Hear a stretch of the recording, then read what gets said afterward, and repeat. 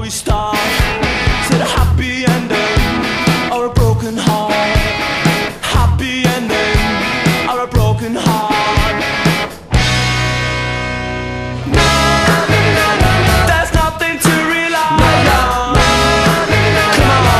to the end